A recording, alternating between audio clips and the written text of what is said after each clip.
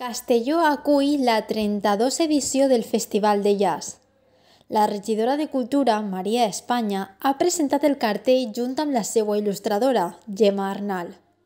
Aquest cicle, que tindrà lloc del 5 al 25 de febrer a l'antic casino de la ciutat, compta amb grans promeses musicals com Mario Parmisiano, Lola Bou o Nacho Mañó de diferentes partes del mundo como Argentina, Estados Unidos, Brasil, que vienen a ofrecernos su arte y bueno, fusiones como con flamenco, mm, boleros que vamos a poder ver en esas actuaciones. Creo que al final lo que hay que hacer es invitar a la ciudadanía a que venga a verlo y a que disfrute de esas actuaciones que se han preparado. Així hi haurà espectacles de jazz, piano, swing i tango i amb la novetat d'una actuació itinerant pels carrers del centre històric.